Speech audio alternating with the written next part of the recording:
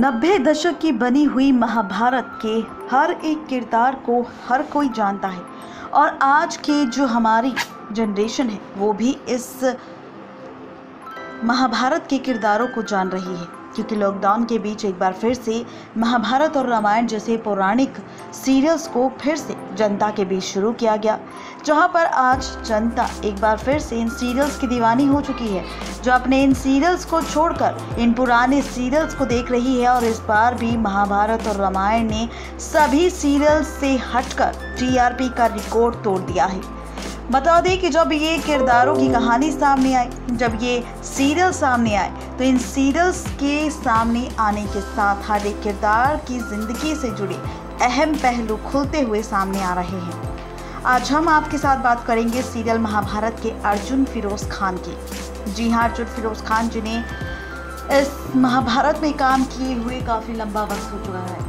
उन्होंने सिर्फ़ महाभारत नहीं, बल्कि कई सारी बॉलीवुड मूवी में काम कर चुके हैं। यहाँ तक कि वो रानी मुखर्जी के साथ मेहंदी फ़िल्म में भी काम कर चुके हैं। बता दें कि अर्जुन फिरोज़ खान, जिन्होंने लाइव आकर एक इंटरव्यू पर बात की और बात करने के साथ उन्होंने यहाँ पर एक गाना गाया अपने फैंस की खुशी के लिए और साथ ही अपनी महाभारत का एक डायलॉग भी सुनाया।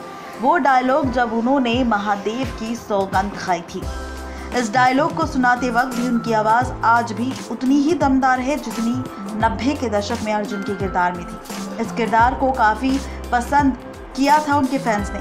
काफ़ी सराहनीय किरदार था अर्जुन का सीरियल महाभारत में। बता दें कि अर्जुन की पहचान से ही, अर्जुन के नाम से ही फिरोज खान को असली पहचान इस टीवी टाउन इस टीवी जगत में मिली, जहाँ पर उन्होंने भले ही कितनी फ़िल्मों में काम क्यों ना किया हो लेकिन अर्जुन के किरदार से उन्हें आज भी जाना जाता है और आज भी उनके फैंस उन्हें अर्जुन के किरदार से ही प्यार करते हैं। तो ये है पूरी कहानी। यहाँ पर अर्जुन, फिरोज़ खान की, जहाँ पर फूट फूट कर वो रोते भी नज़र आए और उन्होंने कहा कि अगर फैंस और जनता मुझसे यूँ ही प्यार नहीं करेगी या यूँ ही कनेक्ट नहीं रहेगी तो कहीं ऐसा ना हो कि मैं उनसे अलग होने के बाद इस ज़िंदगी को जी ना पाऊँ। जी हाँ पूरी तरह से रोते हुए नज़र आए फिरोज़ खान अपने फैंस और जनता का प्यार देखने के बाद। तो इस वजह से फिरोज़ खान रोते नज़र आए, जिसका खुलासा हमने कर दिया है आप सबके सामने।